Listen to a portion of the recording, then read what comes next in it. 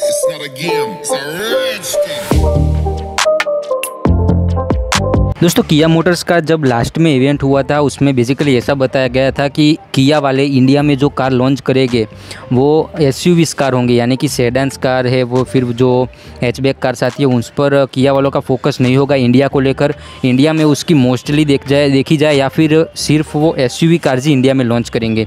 तो दोस्तों, यहाँ पर एक न्यूज़ ऐसी निकल के आ रही है कि जो किया है, उन्होंने एक कार के लिए, यानी कि ट्रेडमार्क के लिए फ़ाइल अप्लाई की है इंडिया में, और ये कार का नाम हमें सोल यानी कि S O U L Soul हमें देखने को मिल रहा है। और मैं आपको बता दूँ कि ये किया वालों की कोई नई कार नहीं है। इसको किया ने वो 2008 में लॉन्च किया था ग्लोबली और उसके बाद 2014 में वो किया ने इसका एक इलेक्ट्रिक वर्जन आता है, उसको भी इंट्रोड्यूस किया था।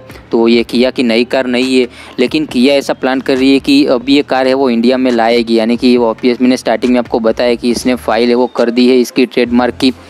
तो अभी आने वाले समय में हमें किया कि ये कार है वो देखने को मिलने वाली है। लेकिन दोस्तों, ये कार हमें इलेक्ट्रिक वर्जन में देखने को मिलेगी या फिर कम्बस्टन इंजन के साथ देखने को मिलेगी, उसको लेकर अभी कोई भी क्लैरिफाई नहीं है। तो चलिए कार के बारे में जानते हैं, लेकिन टॉपिक स्टार्ट करने से पहले मैं आपको बता दूँ कि आप चैनल को सब्सक्राइब नहीं किया तो सब्सक्राइब कर दीजिए, क्योंकि मैं डेली बेस पर इस चैनल पर ऐसे न्यूज़ अपडेट लाता रहता हूँ तो जिसकी वजह से आप डेली अपडेट रहो। फिर दोस्तों मैं इसकी डिज़ाइन एंड लुक्स की बात करूँ तो इसकी जो डिज़ाइन है, वो मैं एक टॉल बॉय डिज़ाइन कह सकते हैं कि ऐसे में डिज़ाइन देखने को मिल रही है। उसी के साथ इसका जो लुक है, वो मैं ऑल ओवर एक बॉक्सी टाइप डिज़ाइन कह सकते हैं, वैसा हमें देखने को मिल रहा है। फिर दोस्तों, इसके फ्रंट में हमें फुल एलईडी जो हेडलैम्प्स आते हैं, वो देखने को मिल रहा है, जिसके साथ हमें एलईडी डीआरएल्स भी प्रोवाइड किए जा रहे हैं। उसी के साथ इसके फ्रंट में हमें बहुत ही बड़ी, यानी कि लार्ज ग्रिल देखने को मिल रही है, जिसके साथ, यानी कि इसके नीचे हमें, यानी कि दोनों साइड हम कह सकते हैं तो जो फॉग लैम्प आते हैं, वो हमें देखने को मिल रहे हैं। फिर दोस्तों, इसकी साइड प्रोफ़ाइल की बात करूँ तो साइड प्रोफ़ाइल में हमें अठारह इंच के एलोए व्हील्स प्रोवाइड किए गए हैं, यानी कि देखने को मिल रहे है। उसी के साथ इसके हम बैक की बात करें तो बैक में हमें बुमरंग जो शेप आता है या फिर बुमरैंग शेप हम कह सकते हैं तो उसमें हमें जो एलईडी टेल लाइट्स आती है, या फिर टेल लैम्प का यूनिट कह सकते हैं तो वो हमें देखने को मिल रहा है। और दोस्तों, हम यहाँ पर क्रोम टिप्स के साथ ड्यूल एग्जॉस्ट का हमें सेटअप देखने को मिल रहा है। फिर दोस्तों इसके इनसाइड में हमें यानी कि इंटीरियर में हमें काफ़ी अच्छे जो फीचर्स आते हैं वो प्रोवाइड किए जाएँगे। इसका जो टॉप मॉडल लगा उसमें हमें 10.25 इंच का जो टच स्क्रीन इंफोटेनमेंट सिस्टम आता है, उसका सपोर्ट देखने को मिल जाएगा। उसी के साथ यानी कि इस सिस्टम के साथ हमें Android Auto and Apple CarPlay जैसी वायरलेस सिस्टम का सपोर्ट हमें देखने को मिलने वाला है दोस्तों। अदर की फीचर्स की मैं बात करूँ तो की फीचर्स में हमें यहाँ पर यूएसबी पोर्ट्स देखने को मिल जाएँगे। उसी के साथ wireless phone charger sunroof steering mounted controls फिर हेडसअप डिस्प्ले उसी के साथ ऑटोमेटिक एसी मूड लाइटिंग फिर पावर एडजस्टेबल ड्राइवर सीट उसी के साथ हीटेड फ्रंट सीट यानी कि हम वेंटिलेटेड सीट भी कह सकते हैं इसको। फिर जो वेप यानी कि लेदर वेप हमें जो स्टेयरिंग व्हील आता है वो देखने को मिलेगा। एंड उसी के साथ जो गियर शिफ्टर्स नॉब्स आते हैं यानी कि गियर नॉब्स आते हैं, वो हमें स्टेयरिंग व्हील पर देखने को मिलेंगे। और जो हीटेड स्टेयरिंग व्हील आता है, वो भी हमें देखने को मिलेगा। फिर यहाँ पर हम सेफ्टी फीचर्स को लेकर बात करें तो यहाँ पर सेफ्टी फीचर्स में मुझे कुछ काफ़ी एडवांस फीचर्स है, वो इसमें देखने को मिलने वाले हैं। जैसे कि यहाँ पर मैं बात करूँ तो सबसे पहला है forward collision avoidance assistant with pedestrian detection यानी काफ़ी लंबा नाम है।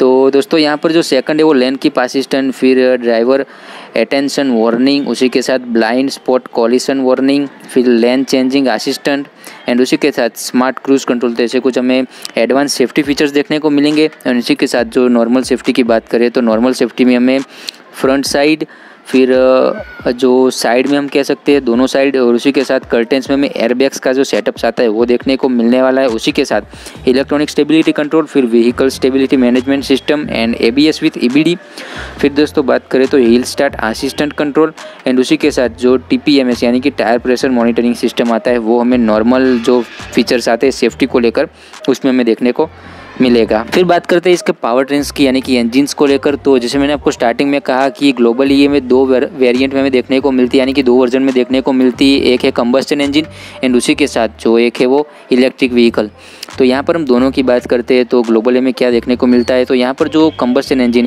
उसमें हमें यहाँ पर फ़र्स्ट ऑप्शन देखने को मिलता है 1.6 लीटर का पेट्रोल इंजन जो कि 123 पीएस का पावर और 150 एनएम का टॉर्क जनरेट करता है, जिसके साथ six speed automatic transmission provide किया जाता है। फिर यहाँ पर जो दूसरा इंजन ऑप्शन मिलता है, वो है दो लीटर का पेट्रोल इंजन जिसके साथ यानी कि ये जो इंजन है, वो 149 पीएस का पावर और 179 एनएम का टॉर्क जनरेट करता है, जिसके साथ six speed manual CVT unit है वो, यानी कि ट्रांसमिशन है, वो प्रोवाइड किया जाता है। फिर दोस्तों, यहाँ पर कम्बस इंजन में तीसरा ऑप्शन देखने को मिलता है 1.6 लीटर का टर्बो पेट्रोल इंजन जो कि 204 पीएस का पावर और 265 एनएम का टॉर्क जनरेट करता है, जिसके साथ seven speed DCT gearbox है वो प्रोवाइड किया जाता है। फिर हम इलेक्ट्रिक पावर ट्रेन्स की बात करें तो जब किया ने इसका फ़र्स्ट जनरेशन लॉन्च किया तो अब इसके साथ इसको 30 किलोवाट आवर की जो बैटरी आती है, वो प्रोवाइड की गई थी। फिर इसको अपडेट किया गया था, यानी एक मेजर अपडेट इसको बैटरी को लेकर किया गया था। यानी कि अभी जो सेकंड जनरेशन चल रहा है, उसमें हमें 64 किलोवाट आवर की बैटरी का पैक देखने को मिलता है। और इसके साथ, यानी कि बैटरी है, उसके साथ हमें लिक्विड कूलिंग सिस्टम भी देखने को मिल जाता है। और इसमें हमें जो इलेक्ट्रिक मोटर देखने को मिलती है, वो 201 एचपी का पावर और 395 एनएम का टॉर्क जनरेट करती है। और दोस्तों, ये मोटर की वजह से वो 7.6 सेकंड में zero to hundred kilometre per hour की जो स्पीड है, वो हासिल कर लेता है। एंड दोस्तों, ये जो इलेक्ट्रिक व्हीकल यानी कि इलेक्ट्रिक बैटरी के साथ हमें जो इसका रेंज देखने को मिलता है, यानी कि ड्राइव रेंज देखने को मिलता है, वो कुछ हमें 400 किलोमीटर से साढ़े चार किलोमीटर के अराउंड यानी कि इसके अंदर हमें कुछ देखने को मिल जाता है। और दोस्तों, ये दोनों मैंने पावर ट्रेंस की आपको बात की तो अभी कुछ श्योर नहीं है कि कौन से पावर ट्रेंस के साथ आएगा, यानी कि इलेक्ट्रिक वर्जन आएगा या फिर कंबस्टन इंजन के साथ आएगा। उसके लेकर अभी किया ने कुछ भी नहीं कहा है कि हमें कौन से लॉन्च करेंगे तो देखते हैं हमें क्या कुछ देखने को मिलता है।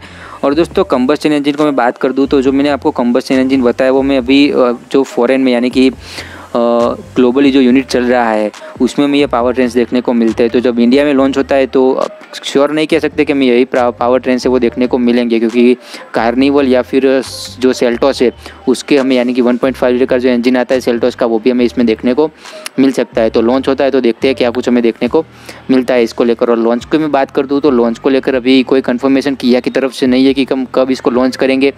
और 2021 में तो इसका लॉन्च हमें देखने को नहीं मिलेगा। 2022 में हम इसका लॉन्च है, वो एक्सपेक्ट कर रहे हैं।